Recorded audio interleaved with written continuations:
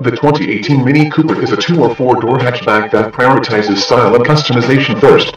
Its relatively small shape and pretty powertrains make it unexpectedly quick, but its hatchback practicality is what makes a lasting impression. We give the 2018 Mini Cooper a 6.5 out of 10 for the iconic style and some modicum of comfort. There are better hatchbacks out there, but do any of them have a British flag painted on the roof? Thought so. Little on the Mini Cooper has changed from last year.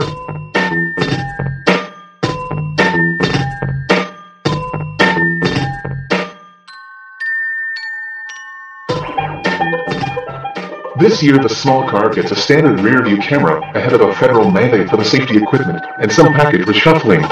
The fuel gauge will be slightly different and the turning indicator will stay in the same position. In other words, it's kind of the same. The Mini Cooper is offered as a two or four door hatchback, a soft top convertible, or as an awkwardly cool four door wagon with swinging doors at its tail called the Clubman. Regardless of body style, any Mini is instantly recognizable on the road.